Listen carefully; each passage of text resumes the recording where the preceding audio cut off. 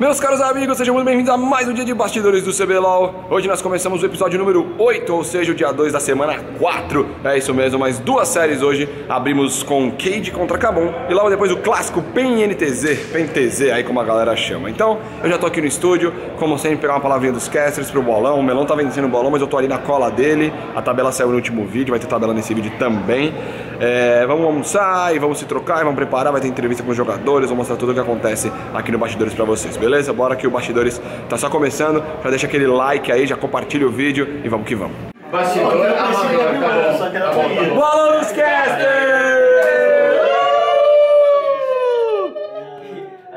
Vamos lá, Dócio! Começando o balão de hoje, Começando Cade contra baixo, Kabum, começando pelo último colocado, Cade contra Kabum, 2-0 Cade, PEN contra NTZ, 2-0 Pen. zero PEN. Nice. Cris, Sim, Cade contra Kabum, Kate. PEN contra NTZ. Empate. Não. Ué, ela não apostou 2x0 NTZ? Apostou 2-0 Tá perdendo. Ah, é a primeira Cris. vez na Primeira história que isso acontece e é porque o campo tá no camarim. Não, não é. Não é. Certeza que é. A INTZ está Não perdendo é. uma torcida. Tá bom, empate, empate. Jamais tá perdendo. Empate. Perdeu a credibilidade. Agora nós vamos pro penúltimo, pro penúltimo colocado. GSTV, Cade contra Kabum. Eu Eu não reconheço esse bolão, vou deixar passar hoje, não vou apostar. Cade contra Kabum. Ele tá falando sério. Vai, GSTV! GSTV. Eu esqueci de apostar hoje, mano. Eu- Conta que eu apostei certo aí. Qual que é, GSTV? Vai ter que ficar uma conta lá pra editar isso aí. Não, não, aperta o S. 2x0 Cabum, 2x0 INTZ. Você tá falando sério? Tô porque eu não reconheci esse bolão. Tá, pô, Pra aposta direito. depois editar. Aposta direito. Não reconheci Ele apostou direito, a aposta dele. Ele tem É. direito de fazer a aposta que ele Eu tenho quiser. Tem essa aposta. Você, Skit. É... Cade contra Kabum. 2-0 Cave, 2-0 Pen. Chefe. Putz, é difícil, hein? Eu vou botar. duas- Oxi. Nossa, que jurado É. do programa do SBT. Não é? Mas veja bem, 2x0, 2x0, Cade e Pen. Pau cinturado! Você pega. Eu? É. Posso também? Pode. Vou botar empate no primeiro e 2-0 pênalti. Empate, Cade, Kabum, 2x0 PEN. É porque se eu, se eu errar, paciência. Se eu acertar, eu sou, sou legal. God. Se acertar é God, se errar é God. É, eu vou postar então 2x0 Cade, 2x0 PEN também. Falta pegar agora a aposta do, do melãozinho, que eu já sei qual vai ser, mas eu vou falar pra vocês aqui. E é isso. O melão que tá, tá líder do bolão, mas eu tenho certeza que hoje ele vai errar e eu vou chegar nele aí. Não, eu tô logo também colando. Tá com 7, tá com 7. Chegou, chegou, chegou! Vem cá, melão, vem cá. Vamos lá. O líder, hein? O líder! Balão dos casters. Vamos lá. Você é o líder e hoje você vai perder a liderança. Não vai perder, porque vai mudar só um resultado. Ah, é? Por quê? O que, que você vai apostar de Kate Cabum? Cage é um de 2-0 Cage. Então, mesmo É que a última, a última chance que eu dou pra eles. Ah, sempre a última E chance. pela primeira vez na etapa, eu não vou postar uma vitória da PEN. Eu vou de 1 a 1 e NTZ e PEN. Vamos NTZ PEN. Você botou o quê, Tichinha? 2x0 PEN. 2x0 PEN? É. Não tá errado não, não tá errado não. Hoje vamos Eu sei que eu não tô errado. O vamos subir. O Pronto, todo mundo apostou, vamos ver quem erra menos. Então, assim, eu acho que uma das pessoas que melhor sabem correr é o Danagorn. Inclusive correu melhor que o Peanut. Pra iniciar em alguém. Gustavo, Gustavo GSTV, tira uma dúvida. Pessoal, todos, todos perguntam muitas coisas nos comentários do vídeo. Todo mundo quer saber somente uma coisa. Uma coisa.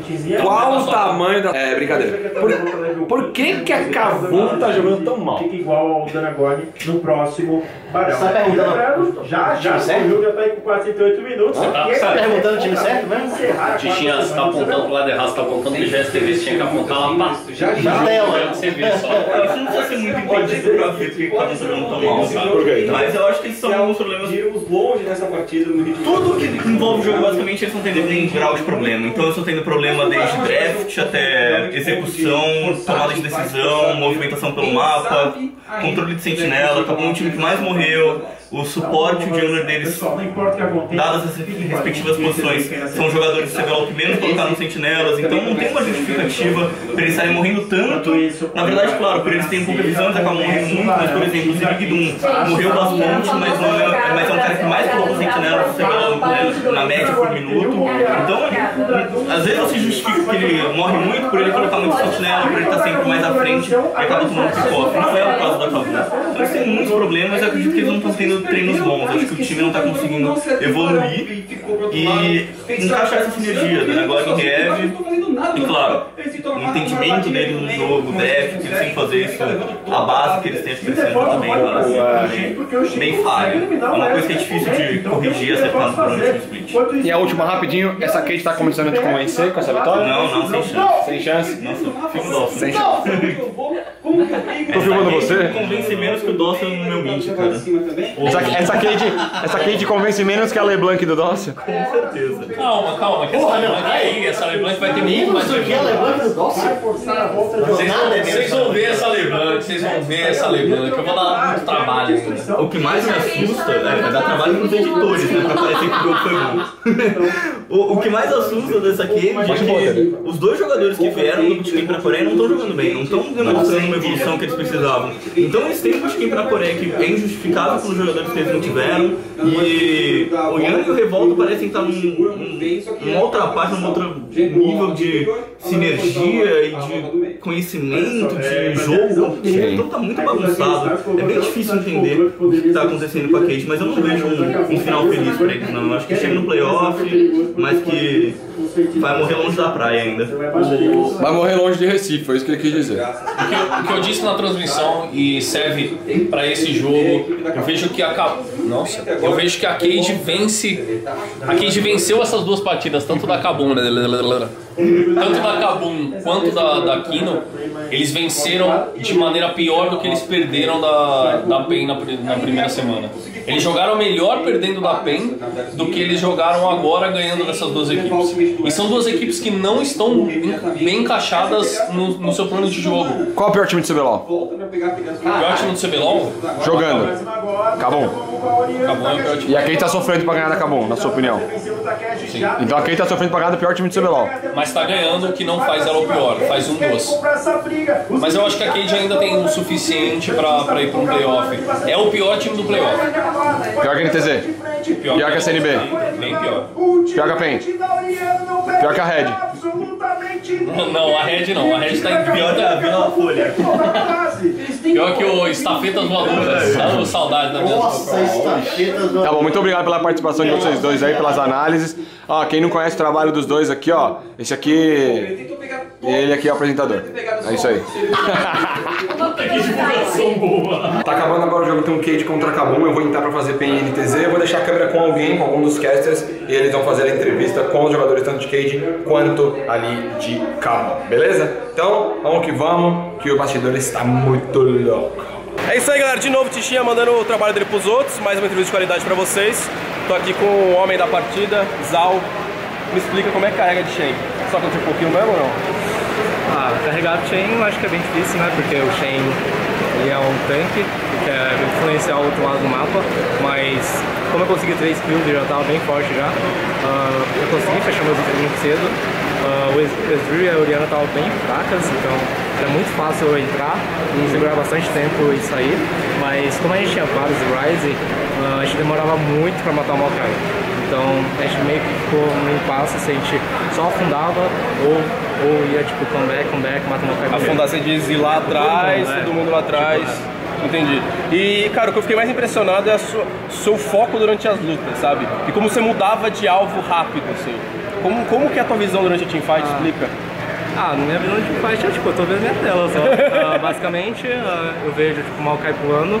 Ah, se eu vejo que, a, que, a, que os carries deles são muito longe, eu tento tipo, ficar no meio assim. Eu não, eu não, pulo. deixar eles virem. Sim. E se eles vierem, eu, obviamente pulo neles, mas eles não podem pular porque eu tava muito forte. Então era só ficar ali no meiozinho. Ah, se a gente tivesse mais DPS pra matar o Maokai, ele com certeza morria mais rápido. Então é só tipo, ficar ali no meiozinho, não, não, não ser precipitado. ah, e quando você vê a opor- a oportunidade de ir, tipo, no caso eu tinha um Olaf. Se o Revolta visse a oportunidade de ir, eu dava um Taunt Flash e o, o Olaf aparecia. Bacana, muito obrigado, parabéns aí. Esse foi Yang. Bom, tô agora aqui com o Vesh, o homem da Kabum. Queria que você contasse um pouco dessa série aí. Vocês estão. Vou dar minha visão sobre a Kabum dessa semana e semana passada, mas você concorda.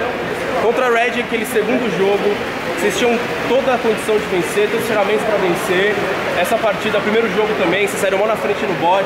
Eu sinto que vocês têm as ferramentas, vocês, vocês têm tudo, mas falta uma leitura melhor de condição de vitória e uma execução um pouco mais maliciosa.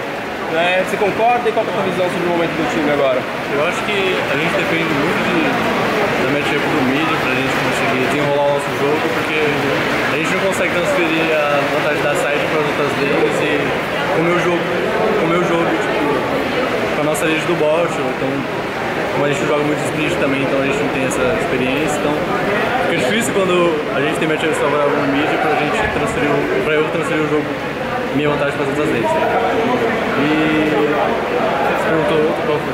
Não, e qual é basicamente isso eu quero saber agora.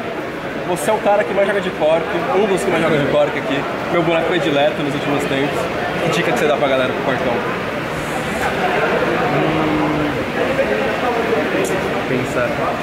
Ah, o roleplay do Cork é solo kill, é tipo, o pacote com exaust. Ninguém, ninguém recua com o pacote. É, você pega o pacote com exaust, você sola praticamente qualquer boneco do jogo.